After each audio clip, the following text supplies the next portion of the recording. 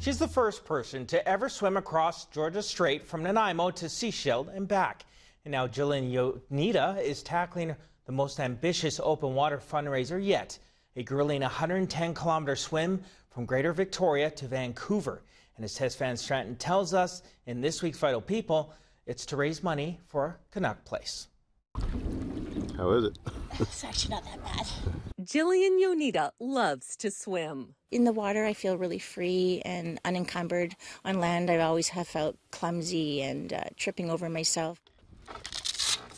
Jill doesn't have full use of her leg and suffers from a degenerative disc disease.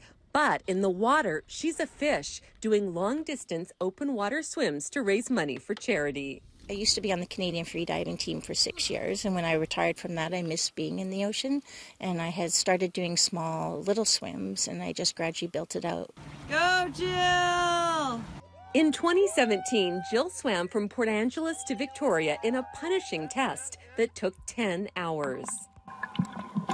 Jill then did a grueling 26 hour, 76 kilometer swim in 2018 across Georgia Strait to raise money for Canuck Place Children's Hospice. She went from Nanaimo to Sechelt and back, becoming the first person ever to do so.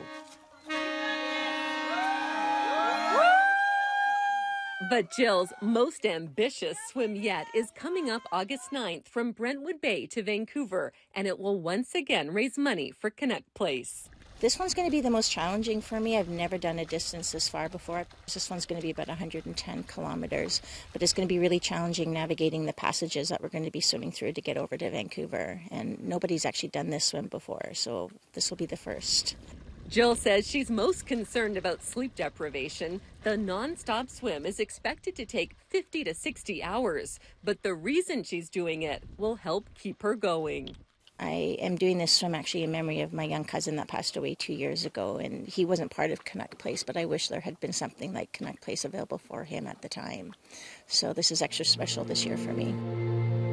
By the time you hear the words Canuck Place, um, you've already got the worst news you could ever get. Canuck Place provides compassionate pediatric palliative care to around 900 children and their families from BC and the Yukon. Although we do receive some government funding, a lot of the extra, what people call the magic of Canuck Place, like the little sprinkles, everything that makes the experience special, that's really through donation.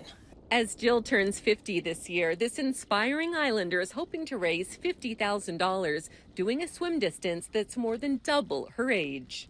Well, I just want to inspire people. I've had over 22 surgeries and I've had a lot of setbacks and medical challenges. And um, this just kind of, uh, how do I say it? It um, makes me just want to overcome these obstacles and keep trying to the best of my ability and push myself to see how far I can go. Vital People, brought to you by the Victoria Foundation, connecting people who care with causes that matter.